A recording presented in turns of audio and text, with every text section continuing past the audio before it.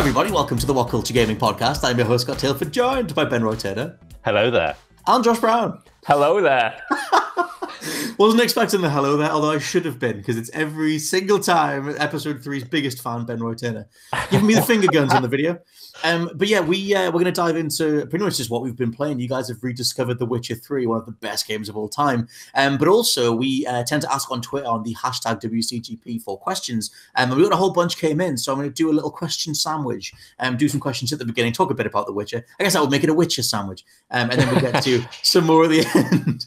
Um, so we'll see. But I really like this question. Uh, comes in from Nondi, um, who said, "Do you think that if Fallout 76 went onto a service like Game Pass for a month, it would help its popularity?" Um, my immediate take is yes, because I think Yes. if people, if you remove the price tag, at least people would try it out.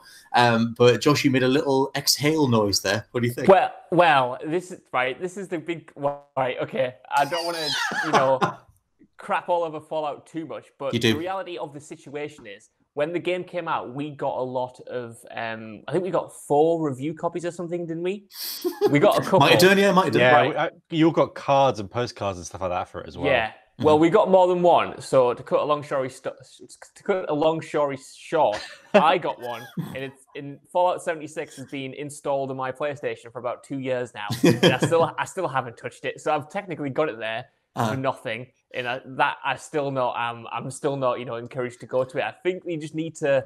We need to fix it, man. Like it doesn't matter whether it costs sixty pounds or whether it's free. If it's a broken game, Mm. fundamentally like no one's going to want to give it a chance once you once you put that reputation behind you then yes if it is on Game Pass it it might might help but to me an influx of players like that Mm. can't like will that not just tank it even more if people do check it Yeah. out in, in on those numbers will it not just you know ruin the servers i don't You make a don't know. very good point. I think, yeah, I mean, I was just thinking that people would dive in and just try it, see what the hype's about. Because I don't like, obviously, yeah, we had access to it for free. Um, but I think just the amount of other things we were juggling with it, the uh, there was something else that came out right around the time 76 did, and it was like, yeah this just isn't worth our time. Um, but I think the vast majority of people who have access to Game Pass, like that idea of just diving in and trying it, does feel like a positive. Um, but I think you'd get so many people going, trying it to laugh at it, and it doesn't hold up. Like it's still broken as hell. Um, ben Roy, how, what's your thoughts on Fallout 76? Look, if Phil Spencer came along and gave me Fallout 76 for included in my Game Pass package, I would mm. try it out. I was I was actually watching a video from a human on the internet called Jim Sterling last night because I thought I'd catch up with the Fallout 76 discourse, and yeah, it still looks crap. But I was sitting there thinking, oh well, me and my friends are coming to the end of this game soon, and we need another game to just hang out on because we can't go outside anyway. Can't be Metal Gear Survive either. So yeah, I mean, well, Yeah. only two, only one of us has the pokey stick game thing, and I was thinking seventy six for for a moment last night. I thought seventy six. I went, no, no, it's got to be like. I was considering buying it, but then I I st- stepped back and was like, we're going to carry on playing Dead Rising two. But if they it came to Xbox Game Pass, I probably would download it because right? Right. I, I'm more or less in the exact same boat as you because every few months I have this, you know, brief moment of madness where I think, you know Yeah. what, I could I could just play Fallout 76. I love Fallout. I want to give it a try. Maybe I could just boot it up. But what puts me off is the idea that I have to get past the the, the grind because for as decent as Wastelanders looks, that is really appealing to me. But I don't Mm. want to have to get to like you know a level where that's fun, or I don't have to go through all of the quests that are already in the main game, like all Mm. of the fetch quests, looking for bottles and stuff like that. I don't want to have to like spend 20 hours or whatever getting to the point where I can have fun. That's what puts me off more than anything Yeah. else, more than the Right. bugs or more than it's, it's issues or something. It's it's the fact that I'm not on the same level playing field as as Rich, who played it quite a lot. You know what I mean? Rich can Mhm. jump in and enjoy what they've changed, whereas I'm gonna be right there from scratch from start, and then I have to kind of. To me, that's too much of a commitment. You know what I mean? I would like. me I a would. I would hope that they um have. I would hope the, the glimmer of hope that they've realized how to put people in different player pools and, and player buckets in regards to how long you've played and what items you have access to. As I said that sentence, I remembered that whole thing about um they introduced the uh someone had like a certain can of tuna and then everybody had a can of tuna and then it was like a thing where they brought like a chest in and if you put stuff in the chest it deleted everything and I just that- that's just Fallout. No, Fallout seventy six is not worth. Do you it. remember when they yeah. um the people that have paid for that pass thing that they're marked as like the rich people now, and then all Yes. the people that don't have that pass revolted and started killing them all. I mean, that that, was the game thing in there. it sounds like a trash fire, but unless it's free on Game Pass, well, free on Game Pass, then I do. But I don't necessarily want to part with some currency for it. It's got to be Yeah. via via Phil via Phil Spencer sort of thing. if um, if it's free and you can log in and just see like a mob of people hunting one other person as they all run away from them, I might be into that. But I I don't know. I don't think I'm not guaranteed that experience, so I'll have to wait uh, for now. But yeah, you guys have both been playing um, The Witcher Three. Now this is one of my favorite games of all time, so I'm going to dive in as well. But what I guess we'll start with you. I forget which one of you messaged first saying you were going to go back to it. I think it was you, Josh. I think it was, and then Ben Roy said that he was going to get to it after he finished Resident Yeah. Evil Seven. Was that the was that Uh, the plan? I have almost got the platinum in Resident Evil Five. Right. Thank you. I just have to do Sorry. an, I The less do crazy response. an egg glitch, and then I have the platinum. Just got to you know pass it backwards and forwards. But yes, You're in a was me. perpetual state of replaying all the Resident Evils. It's like me with friends on Netflix that you get to the end and you just restart it again. Just go Yep. back through it. Um, but yeah, Josh, how have you been finding The Witcher 3? What made you want to go back to it? Well, it's it's funny. It's because I was watching actually a video by a YouTuber called Joseph Anderson, who's done this like big deep Genius. dive on the whole um, series. He's put Yep. the first part up, but I was watching you know parts of Witcher One, and I just got like the itch. I got the itch because I, was- I was in between games. I just finished Final Fantasy VII, and I thought, you know what? I haven't played The Witcher in about five years, and this is making me want to go back to it. And I was wondering whether it was was going to hold up because you know I haven't touched it since then, apart from the Blood and Wine DLC, which I played a couple of years afterwards. Um, but I wanted to go back. I wanted to see whether it was still one of my favorite games in 2015, in 2020 as it was in 2015. And honestly, I've just been like head over heels in love with it. It's been Mhm. so good. I think I pumped about 30 hours into it already. I'm still in the in the first act, but it it holds up in a lot of ways and it feels dated in other ways like if that makes sense Ooh. which has been kind of strange to experience but overall it's still such an amazing game and it's been such a joy to get back into it man like and i mm-hmm. feel like i'm getting so much more out of it the second time around there was so much content that i even though i put 100 hours into the game the first time round there's so much i missed that i'm just Oh, man, it's- the second time It's absolutely ginormous. I guess, actually, yeah, Ben Roy, what were your returning thoughts or how have you found it going back to it? So uh, a bit like Josh, I hadn't played it for five years. My last save was 2015. I was like, God. But uh, no, I watched uh, the I watched the show, and then it- Geralt Oh. was in my mind, and I remembered how much I enjoyed Geralt as a character and how I thought I re- Ger-. However you say like, I've tried. Jules, Jules always calls him like Ger- Gerald. like, what game are Uh, you playing? so now I'm just going to call him Henry because Henry Cavill. So I really like how I enjoyed Henry as a character, and I really want to experience Henry's journey all the way to the end. Even though I've had it spoiled for me because I've done, I've even written about this game, like like all this sort of thing. Like I know the ending, but I'm still enjoying it going back. The first thing I did back was uh, I punched a lad in a village and won some coins. I was like, Yeah. give me some gold coins for beating this man. I was like, you know, I could do this, Mhm. and just because they changed the movement since I last played it. I think Yep. that was a problem I had before. And also, I got into this weird perpetual loop where I was just always stressing because this sword was fine, then it broke, but then my other sword was fine, then it broke, and I fixed that one and it's fine. And then I'm wearing a court jester's outfit because I don't know where to find the cool Mm. armor. And I just want to look cool and I want to kill some monsters. I don't want everything breaking, but I now I'm back into it. Uh-huh. It's kind of I'm kind of back into the groove, and yeah, I think I'm back, John Wick style and I'm actually gonna put as much as I can into it for the next foreseeable 46 days. I was going to ask because you you messaged yesterday about like yeah wanting to look cool, wanting to get the armor and stuff, and then you messaged saying lots of things are breaking, which is like the armor and the weapons can Yeah. break and stuff. Um, I guess like for both of you, like how have you found like how have you spec your character and have you how have you found the combat and stuff? Because all the like like you said, Ben Roy, they patched it so much. They changed the way that Geralt, or they give you options on how Geralt can move. They changed the inventory and the UI systems and all that kind of stuff. Um, yeah, I guess like back to Josh, like how have you found like specking characters and the actual combat and the gameplay? Well, it, jumping off something Roy just said, I do Mhm. think like the first 10 hours or so are quite overwhelming with how much information it gives you, especially if you jump it on a harder difficulty. I've been I've been playing it on um, the Blood and Broken Bones one, and I feel like when it just throws you into the world with so much to do, it has the the most kind of confusing inventory set screens. Even though they've done a lot to kind of improve them, I think it throws a lot of information at you that you kind of need to take in. So it takes a while to kind of get on top of that and um, feel like you know you're doing well in combat and stuff. But Mhm. once you get over that initial hump, I just do think it clicks. Like mixing signs, upgrading your character, getting the good armor. It all kind of it feels good, and it doesn't feel like you're on the back foot like you are in the opening hours. To remedy Ben Roy's issue with the um, the uh, the terrible armor. I've Hmm. finally been hunting the the Witcher armor this time around. I've been Yeah. making it a point to collect all of those and craft all of those and have a good time. And that's been that's been lush because my guy right now, Geralt, uh, big uh, big Henry, he's got this lovely little. It's it's the cat armor, the Witcher cat armor. So he's got this lovely little um blue bodysuit on with his Not the little out. tiny one, not the He little one that's like it looks like Aerith, like the little tiny hench, man. jacket. No. Is there is there a specific like armor set that I can just put into YouTube and have some person from 2015 tell me where to find this? Because I don't Yes, care about all cheating of that way. Because I, did- I was searching best armor and I was like, all these people's boring opinions on the bed. No one was just going go here, here, and here. Just I don't want any. of the- I don't want to flirt. Let's just Right. just just get to it. Tell me. It's a hundred hour game. You can't just get in off the bat. And I just cool. want a bit of armor now. I'm about I'm about I'm about level 10. Like to put it into uh, perspective, I never started again when I started playing the other day. I'm just carrying on my save. I'm not doing all that again. I'm You're, not going. oh, this. I'm not. mm. ha- by the way, Gwent, crap. I'm not having to go back and play it. the play Stop the, bo- saying. the- okay. Boring game because I don't want to play it. I just want to. I, by the way, commend this game so much because unlike a game like Sekiro, you can dodge enemies in this game, and I don't know about every said before but when I'm in a sword fight, I prefer to.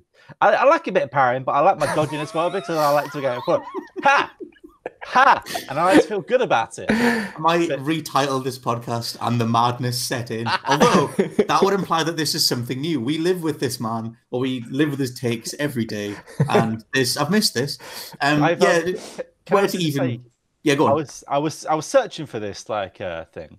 I, it's part of I don't remember what it's called. I just following what this person has said from 2015. I, I was Yep. I was time traveling, and I killed some. Are they drowners or something? They're called the squid. Drowners are a thing. Yep. Killed one of them, and then this big sort of like bird goat thing was on this tower, and we had tried a little tussle. My sword didn't do anything, so I realized, ah, I probably need to go and find or or you know cheat and use use the internet, just Google how to kill this thing. But I had to run away. But also dealing with those idiots that fly in the sky and like, you have to wait ten minutes for one to come down, and then you go, go away. You do, you do have a you have a crossbow to grab to ground those but things. it's it's so small. It doesn't matter, it's small. You're supposed to fire it anyway. Look, the, um, I think that you're already hitting a big old snag. That you want to, you want it to be something that you want, and that's not what The Witcher is, which was your problem with Breath of the Wild and Sekiro and everything. I'm just I'm Uh, preempting this. I just I'm gonna finish uh Breath of the uh, not Breath of the Boring. I'm gonna finish The Witcher Three. Yep. or at least do a load of it because now I'm I'm kind of like I've got the taste back and I really want to experience this. Because I remember one of the last quests I did before I put it down was the Bloody Baron stuff. Yep. And I, like, I really enjoyed that sort of focusedness to it. Focusedness Mm-hmm. isn't probably a word, but um, when, Focosity. when I go through one of those sections and I'm back out into the world, Mhm. I get more overwhelmed in this than I ever have done in like a Fallout or another massive game that I played. Like, I just Hmm. I just don't know kind of what to do next. And when I'm also stressing about said armor that's just breaking after it rains, I'm just really worried. And then I'm then I'm in that loop of ugh, and then I'm searching the woods, and then I- really enjoy the enemy design. Like going through the woods is dangerous in this game, and I love it. But at the same time, oh, just let me go and get to the next town. Like, look, wolves. Look, I fought you a minute ago. You're all dead. Don't respawn. It's fine. I think you should go. You should need to play something more like action focused because they want you to have that balance. Like they want you to be the Witcher, like you're you know specking potions for certain enemies and you're smithing swords and like planning literally enemy by enemy which signs you're going to use on which one. Like how you're going to like trap them in a certain place and do extra damage, then move away and evade. Like I love all that stuff, but it's way more. It's way more considered. I think they want you to play it way more considerately than like just you know get the cool armor, go kill the big thing. I think if I get cool armor, then I'd be fine to then go. But like I just because I'm looking at myself dressed in like like I'm gonna dance for some fat king. I'm just like well, you didn't need to wear that stuff. You could just wear his starter armor if you're yeah, but then you get just battered because Not if you're good at evading. That's one of the best things about the combat system is that if you're decent at evading and countering, you can totally take on higher level enemies. Oh, but the, thing is that like the big goat. Uh, someone's probably going to know what this is, but the big goat uh, thingy at like some sort of like tower where I had to swim underneath and come back out of.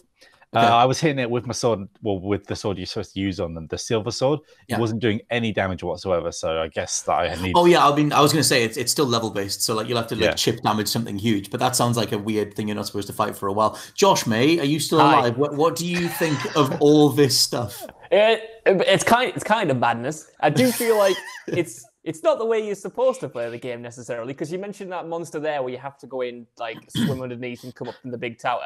Like Yeah. I remember, I remember seeing that and thinking that was such a cool moment. Like I wasn't, I wasn't going to, to try and get cool ammo. I was just walking around. And I saw that thing on top of the castle. And I thought that is so awesome. It felt so gothic and atmospheric and cool.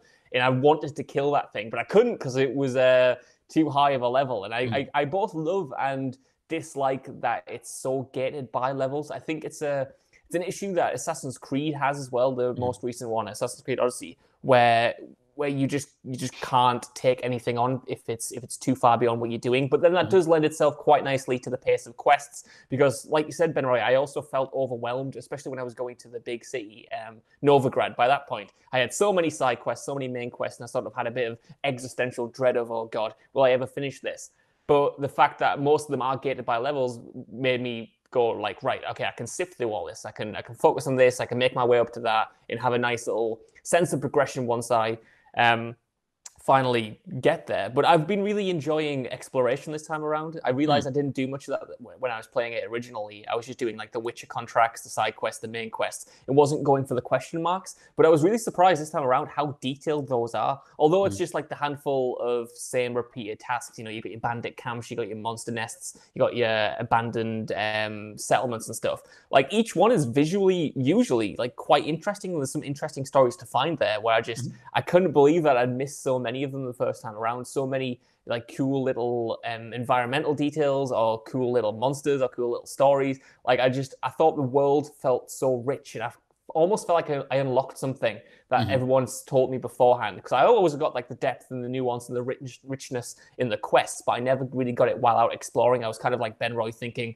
you know, I'm sick of these wolves following me. I don't want to fight another handful of drowners, but this time around, having not knowing where the story goes, not wanting to just blitz through it so I could talk to everyone about it, being able to take my time, I've re- been really in- enjoying it, and I've got to the point where at the moment I'm actually way over leveled for the quests that I'm actually doing. So those I have been a breeze. But that's thing- quite nice.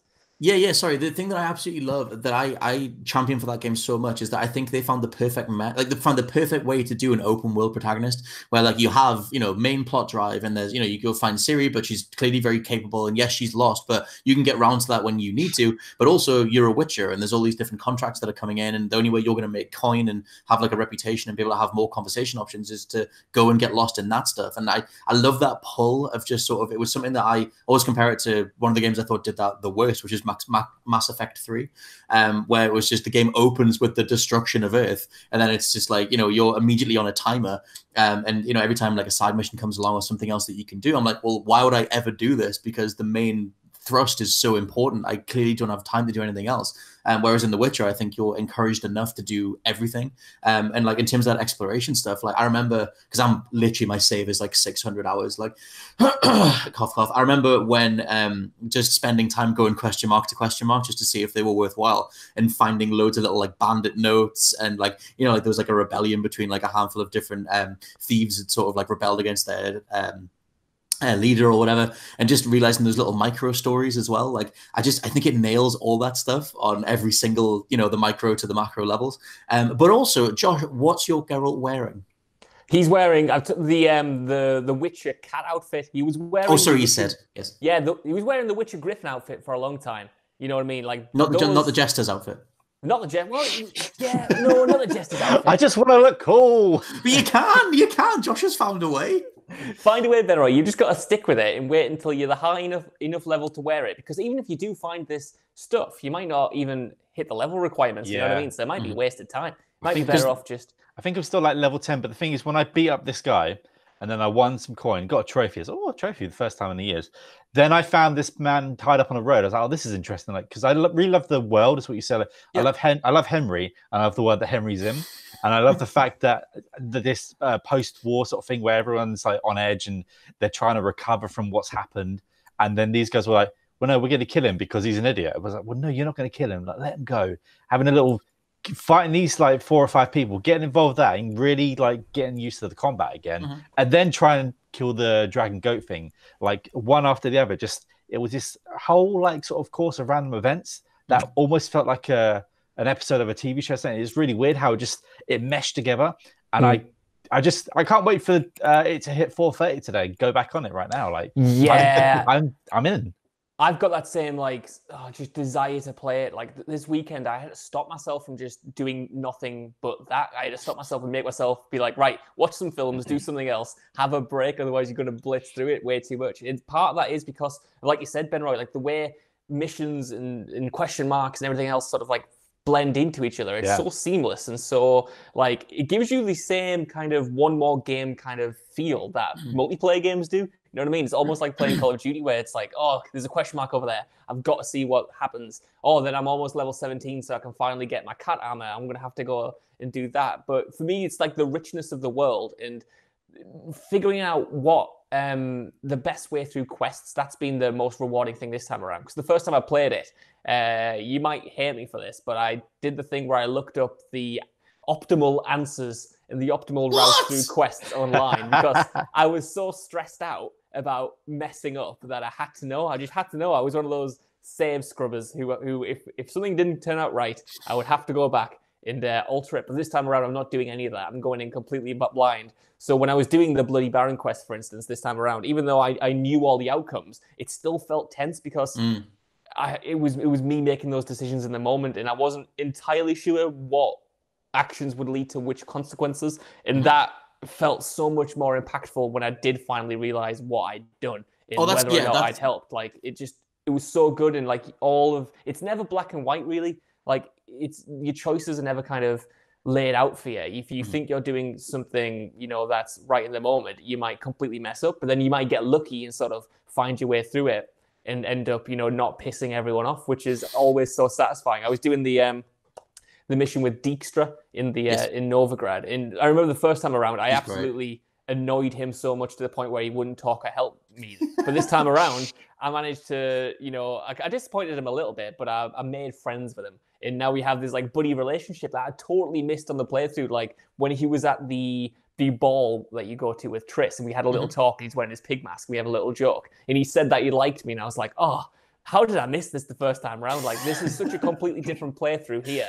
just because I made slightly different choices, and you would never talk, you would never really get that because although these games are often, you know, they're they're marketed on the amount of different outcomes to quests and stuff. Mm-hmm. For, for, for, a lot of time, like a lot of, in a lot of cases, I always think of it big picture. I always mm. think of okay, so these are the monumental things that happen if I do this. I don't think of those smaller flavor moments of well, you know, this might not directly impact the story, but it's going to change the relationships with characters. It's going to change the way how I see them. Mm-hmm. In looking at those little nuances and differences this time around has been so so satisfying.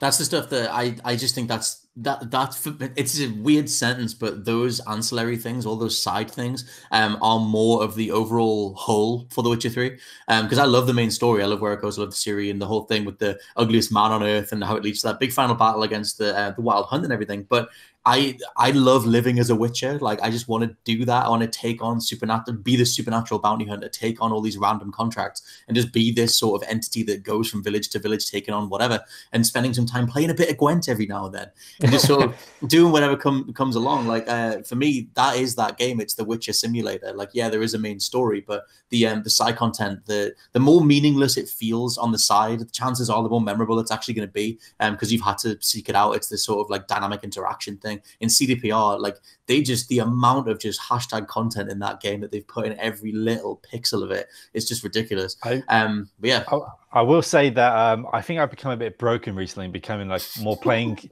playing for check boxes, where this game mm. is reteaching me patience and like. I'm trying to like go, no, give me what I want, and it's not giving me what I want. It's making me work for what I want. Yeah. And I kind of like, like Breath of the Wild, mate. Boring. Uh, but uh, it's not boring. Okay, just don't kill me. It's all right. But, they're not going to come for you. But um, no, The Witcher. It's kind of teach me again to just ch- chill out and just play at its pace and not try and force it and go through. And like the five hours I put back into it over the weekend around like uh, uh social playing with my friends, like was, I was really enjoying it. And I can't wait to just get this week sort of like just let it hang out a bit. Just ah, let's let's go, let's go, Henry, and just sink back. It's try actually sink into this world and finally play the game. I think how it's kind of meant to be sort of approached and not yeah. just yeah. shout shout at it for me breaking my sword and looking like a jester. It's That's what I funny was you should going to mention say. that. Yeah.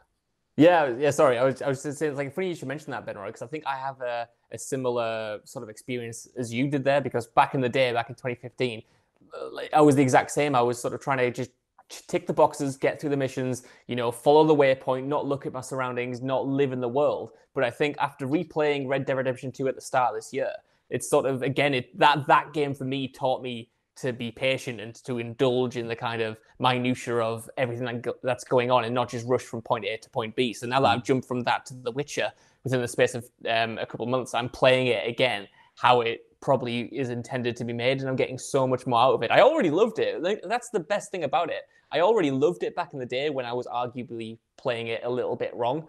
But this time around, it's it's it's even better. Like I can't believe how much it, how well it holds up from a like you said, like a holistic standpoint. Everything informs, all the systems inform each other. The story comes together, the character comes together. The world is still absolutely gorgeous, Mm. and even in spite of some of the things that I do think are a little bit dated or not as polished as they could be, I think it more or less it completely holds up. Mhm. And It is just Geralt, like- and uh, I was just say, and Geralt is a is a compelling character. It's all this that you want from an open world game, but without the blank slateness of a Fallout. It's got someone that you care about, and you're invested in his story and the people he knows. Like Mhm. that Yeah. is that is literally what I want in a nutshell. I just bounced off it in a hard way, and now now I'm back. Geralt's so so much funnier than I remembered him being. Like, Yeah? I, Oh. I thought he was just like Yeah. emotionless before, but he's an absolute banter hound this time around. He's uh, mugging everyone off. He's he's he's got the driest, most sarcastic wit. It's it's excellent. I love it. I just I don't I don't know what version of the game you guys played in 2015. well, I don't know what you've been doing that you didn't have all this back then. I'm glad you've got it now. Um, but yeah, in terms of like the the whole thing just being this insanely detailed like tapestry where you can just pull at any thread of it and all this other stuff will come alongside it. Like everything plays off everything else. Um, yeah, I'm just I'm glad you've kind of you're swimming back in the oceans of The Witcher again. It sounds pretty good. Um, getting we might end for. up. I was Hold get, getting ready for Cyberpunk. So you know, like I want to get Mm. this game done before I then play the next thing because I'm definitely going to get that, Mhm. and I feel like I owe it to myself and owe it to like to try it one more time, and I think it's actually working this time. Yeah, yeah, totally. And we might end up doing like a follow up depending on how much more uh, time you guys put into it. I I think I still have it installed. It's like a 90 gig thing with all of its DLC. Um, but we should maybe do a, a series of games that we're returning to uh, whilst everything is in a bit of a kerfuff. Um, but in terms of another question from the hashtag WCGP uh, tag on Twitter, um, from Mr. Blue Sky, who says, um, "When is a game too short?" Which is an interesting take. Um, my my mind went to uh, Control um, because I still haven't gone back to that game's DLC yet. But I just I don't know. It, it's it has to be when a game leaves you with a sense of disappointment. Um, I think it's all to do with pacing and, and payoff. Um, I think Streets of Rage 4, I've just finished that yesterday. Um, is it's only like 13 stages long, but some of those stages are only like five or six minutes. And what is there is immaculate, but when I hit the credits, I still felt like it was a bit short. So I don't know. I think it's a pacing thing. I think if a game has story elements, then you need to not nail a three act structure, but you need to go out on a high. Like it needs to feel like something that is a finale rather than just we ran out of dev time or we needed something, you know, something got in the way, so we're slamming the credits here. But um, what do you guys think? I was just going to say, jumping on the control thing. I think that's after finishing Quantum Break uh, recently. I think that's just Sam Lake's style of writing. That he always leaves something on a cliffhanger or a potential thing. Like Alan Wake ended with a massive cliffhanger. Mm. Uh, Quantum Break ends on like some sort of semi cliffhanger, and so did Control. But um, I think the fact that we're getting these answers, these questions answered in the Control DLC, sure, people hate that stories continue, but he kind of writes his things as like say episodes of TV or a, a film where it's going to continue. Mhm. And it's funny you say the Streets of Rage 4 because I'm going to be diving into that on the bank holiday. Uh, I think games Still like that, game. games like that, that, that I can see it be short, but I think it's weird. Like, do they get a pass if they're intended to be played over and over again? Because I feel like Yeah. Streets of Rage 4 is one where it wants you to then play on a harder difficulty afterwards, and say like a uh, Resident Evil 3 where you then finish it and then you go back and then you play it again on, a, on another high difficulty to experience it, and things have changed throughout. I Mhm. know that sometimes the length is a weird one, but at the same time, I think some games can be better for not being 100, 600 hour epics. Yeah, it's it's obviously like case by case. Just to throw in on the RE3 thing, or, or even I think for Streets of Rage 4, I think price is a massive thing, and it Yeah. depends how much you paid for it at the time. Game Um, Pass. Yeah, Game Pass solves a lot of it. Um, it's just it. I don't know. It, there's there's just a lot of assumptions baked into like, oh well, I paid this much, or it's it is this story heavy thing, or I paid this much for a story. Um, and in yeah, just, there's a lot of like nuance to it. Josh, what were you going to say? Sorry. Uh, yeah, actually, I was going to pretty much just repeat everything you said. I do think it's like case by case, and I do think it comes down to um, pacing and quality because I mm. think if something's like a complete 10 out of 10 and it's only like three or four hours i to me that justifies full price because it's mm-hmm. it's a really special experience and it feels complete and good it for me a short game is only disappointing if it feels rushed if it feels unfinished if it feels like corners are being cut some of my favorite games of all time are like two hours long, an hour and mm-hmm. a half long, like walking simulators that have a beginning, middle, and end, and they tell a self-contained story. But it, uh, it always feels like that's how long they were intended to be. Mm-hmm. My, my, my issue only comes when something feels like it's being cut short. If yeah. if it feels like the developers had bigger ambitions and it's not being paced correctly to have this nice payoff at the end, it doesn't feel complete. That's the only time where I feel like, oh short change and then i feel about then i start thinking about you know well, was this worth the price? Was this worth mm-hmm. uh, this much money? Was it worth my time? Do i feel satisfied? And stuff like that. So i think ultimately you know i don't know i was going to say a short game is always better than a bloated one. I don't know never whether that's no true. Yeah, I don't know if it, it, I don't think it's as cut and dry as that. I think it's it is just case by case. It's how much of the developer's intent or the creative's intent comes through. Um, because it's a great comparison that like Ben Roy mentioned about the other Remedy games. Because I I like those cliffhangers in terms of they made like especially Alan Wake's one. Um, that if, if it intentionally creates conversations, that's that's cool. Um, in Remedy's in um Control's case, I just felt like it, it just ended. It was just here's some credits were done, and obviously yeah. we've got the DLC plan. Um, but yeah, I just it's weird because how the hell do you analyze intent? But um, I, yeah, when a game is too short, I think I just have to hang it on on disappointment or like a general feeling of negativity whenever the credits roll. If it feels like there should have been more for whatever reason, then that's then that's too short.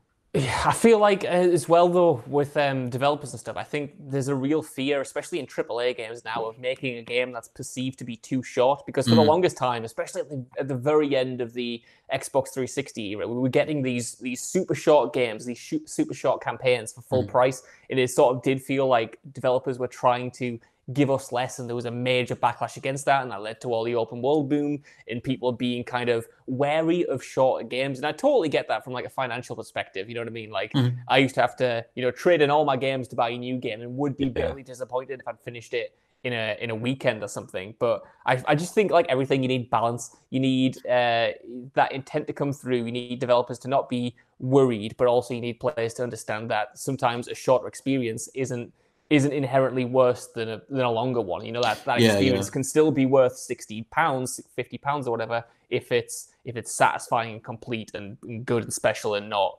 bloated.